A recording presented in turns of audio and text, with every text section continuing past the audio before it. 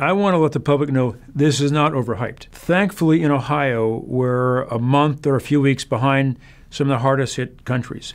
You look at Italy, Spain, France, particularly Italy, it's become a critical situation there.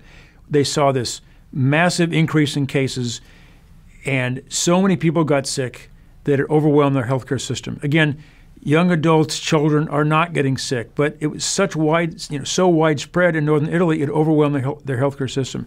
Flatten the curve means do social distancing, slow the spread, avoid this spike in cases that causes critical issues with healthcare delivery.